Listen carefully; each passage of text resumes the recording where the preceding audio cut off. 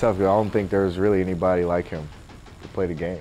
Like, to play as tough as he did, as competitive as he was. Just tenacious, aggressive, um, tear the rim down. You know, so Amar'e was one of those players that you know, set the culture, set the standard here in Phoenix for a long time. 2002 NBA draft, the Phoenix Suns select Amar'e Stoudemire from Cypress Creek High School. Goes in. Slam, slam. What? Look out below. Here it comes. Spinning in the lane. Thrown out by Amar'e Stoudemire. The NBA's Rookie of the Year, Amar'e Stoudemire.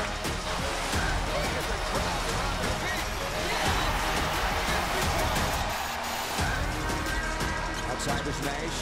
To the trailer, Amar'e. And that's a spectacular dunk by Steph.